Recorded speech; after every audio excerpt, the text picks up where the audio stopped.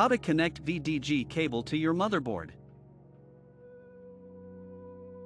In modern computer builds, aesthetics play an important role just as much as performance. RGB lighting has become a popular feature among PC enthusiasts, and one of the elements vital to this setup is the VDG cable. This cable allows you to connect RGB devices such as fans and light strips to your motherboard, ensuring synchronized lighting effects across your system. Here's a step-by-step -step guide on how to connect a VDG cable to your motherboard. Step 1. Prepare your components. Before you start, ensure you have all the necessary components at hand. VDG cable, this is the cable that will connect your RGB devices to the motherboard. Motherboard manual, it will help you locate the VDG header on your motherboard.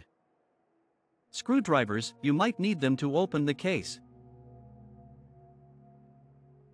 Step 2 Power down and unplug your PC. Safety first, ensure your PC is completely powered down. Unplug all cables and remove the side panel of your case to access the motherboard. Step 3 Locate the VDG header on your motherboard. Referring to your motherboard manual, identify the VDG header. This header is usually labeled VDG, D underscore LED 1, or something similar. It typically has three pins arranged in a specific line, making it easier to identify among other headers. Step 4 Connect the VDG cable to the motherboard. Align the VDG connector with the header on your motherboard. VDG connectors usually come with a specific alignment notch to prevent improper connections. Carefully press the connector onto the header until it is firmly in place. Avoid applying too much pressure to prevent damage. Step 5 Connect your RGB devices.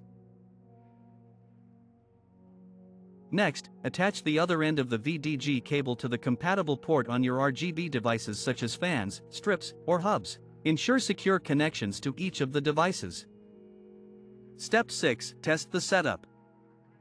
Close your PC case and reconnect all cables. Power on your system and check if the RGB lights are functioning as expected. If not, power down and recheck all the connections. Troubleshooting tips. No lights, if the RGB lights do not turn on, ensure the VDG cable is fully seated in the header and the RGB device ports. Also, check the power supply to your RGB components. Incorrect lighting effects If the lighting effects are not as expected, verify the compatibility of your RGB components with the motherboard software. Update your motherboard's BIOS if necessary. Motherboard documentation Always refer to the motherboard's manual for specific details regarding port locations and hardware compatibility.